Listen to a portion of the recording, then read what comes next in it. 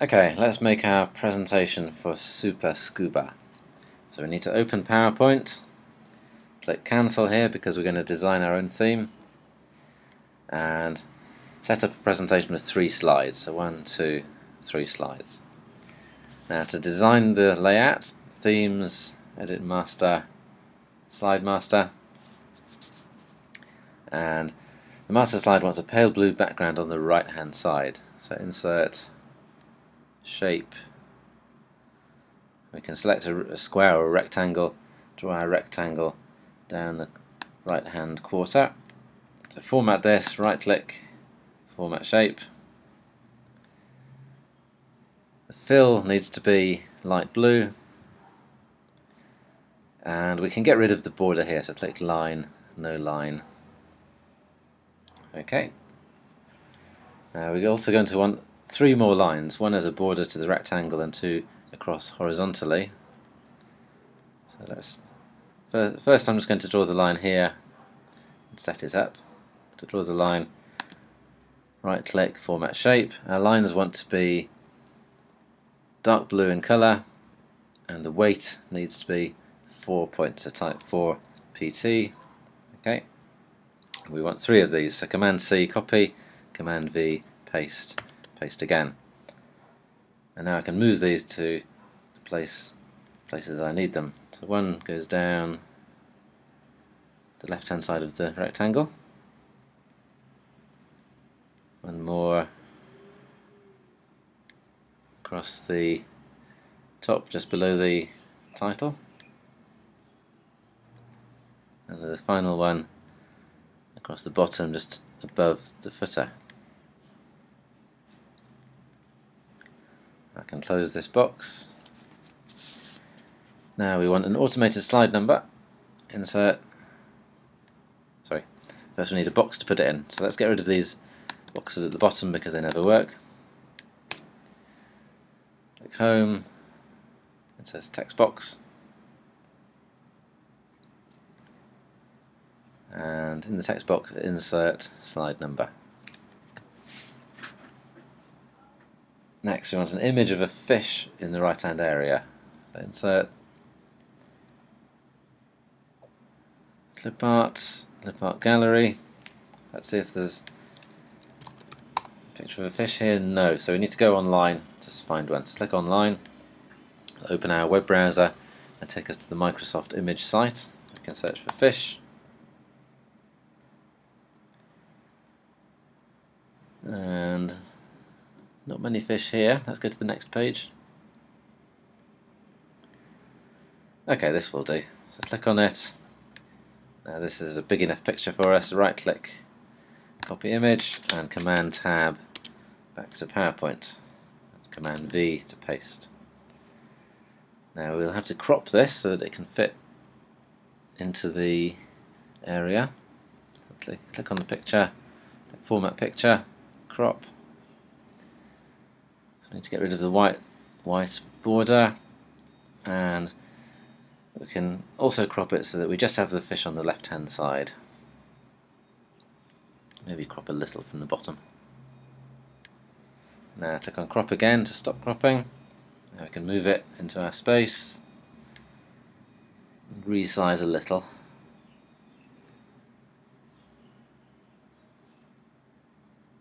Okay, Next, got our name, center number and candidate number on the bottom of the slide. So again, click home, insert text box, draw a text box across the bottom. Now the text here needs to be center aligned. And it should be black, 12 points, bold, sans serif font. Sans serif isn't the name of a font, it's any font that doesn't have the little curls on the end. So there's lots of sans serif fonts, but Arial is one very common sans serif font. Let's use this. Name.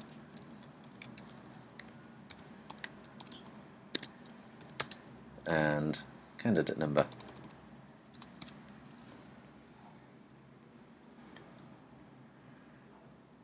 Next, at the top of the slide we want a header, the text super scuba. But before we can do that, we'll need to move these other boxes out of the way or resize them because we'll still need to use these later. But we want to use them without overlapping our lines or our fish. So move them down, resize them. That's the titles. That's the content slide. Okay, title slide also needs resizing. Moving a little.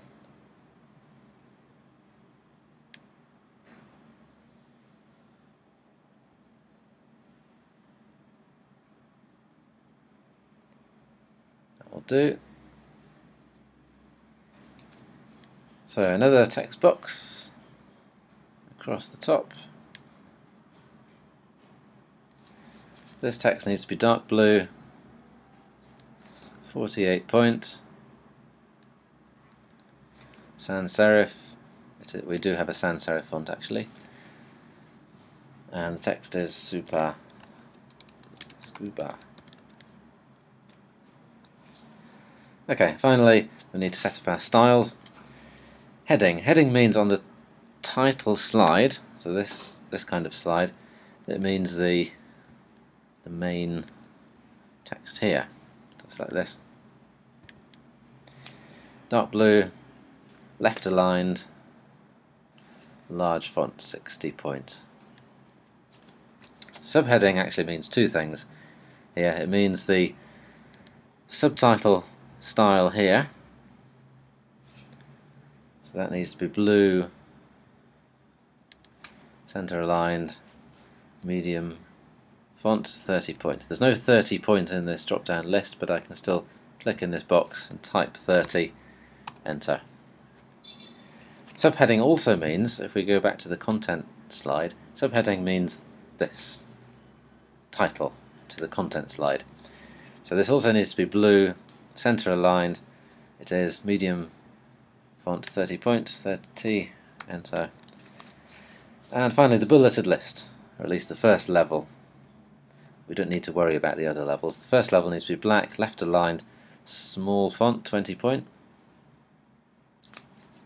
And a bullet of our choice. We could just leave it there like this, or we can choose by right clicking, bullets and numbering, choose a different, let's choose this one.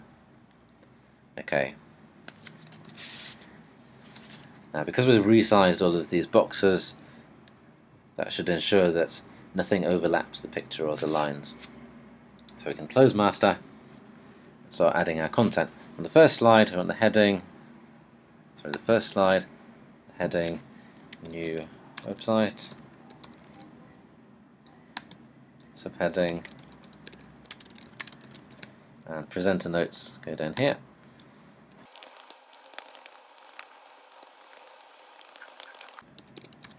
always go back and check your spelling.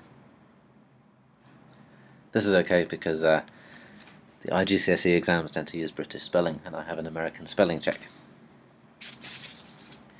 Second slide. Subheading.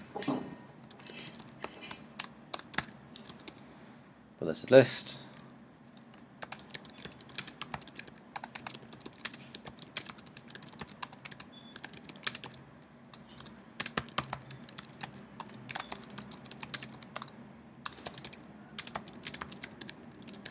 check your spelling. Now this needs to be animated so that they appear one at a time. So keeping this selected, click on animations, select an animation, let's have them fly in. There we go. And nothing else is animated, the title is not animated. Presenter notes.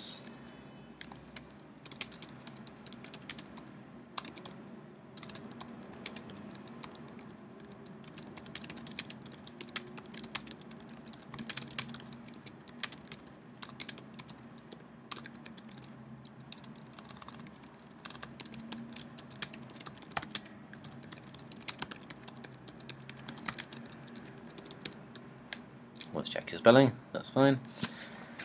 And the third slide, we want a pie chart. Now, The easiest way is just to click, click the chart button here, insert chart. Now we can choose pie chart, the simplest kind. Takes us to Excel, where we can type in our data. Starting with the column headings, then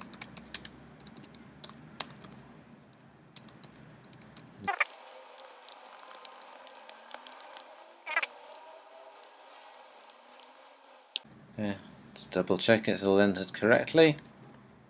Then we can actually close Excel and we see here's our here's our pie chart. Now it's not quite how we want it. We don't want this legend here. What we want is each segment to be labelled individually. So looking at the quick chart layouts at the top, the first one here, click, that's what we need. Now we can, we don't need a title on this slide so we can delete this box and resize our chart. Make sure it's centered.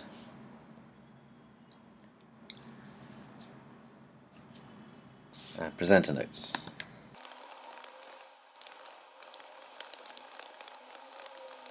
Spelling, that's fine. Finally, for the whole presentation, we want to use the same transitional effects between each slide. So if we click on transitions, let's have this one fade in and then click on apply to all slides. Now we can see the icons here indicate that every slide has a transition. Save the presentation, file, save as, save it somewhere sensible, let's call it super scuba, save. Print the presentation showing all the presenter notes file, print. That's a print, print it showing the notes we need to do. print what? We don't want to print the slides, we want to print notes. You can see in the preview here that will it will appear with on each page a single slide with the presenter notes underneath it. Uh, and we just press print. Okay, we want a screenshot of slide 2 showing the animation used for the bulleted list. Let's look on the animated box, look at animations. Now these numbers are evidence for the animation. For a screenshot, we can compress we can press Shift Command 4. Then this cursor appears. We can just select the whole slide, draw a box around the whole slide. And now if we look on the desktop, somewhere you'll see a, new file has appeared, it says screenshots. So if you open that, there's a screenshot. Now we can simply print this file, print, send it to the printer. Back to PowerPoint, there's one more piece of evidence we need. That's a screenshot of the presentation showing the transitions. So the evidence for the transition is these icons here. So again, Shift Command 4 and select this part of the screen. And again there's a new file on the desktop. Here it is.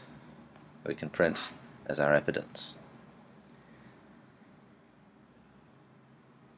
And that's it. Goodbye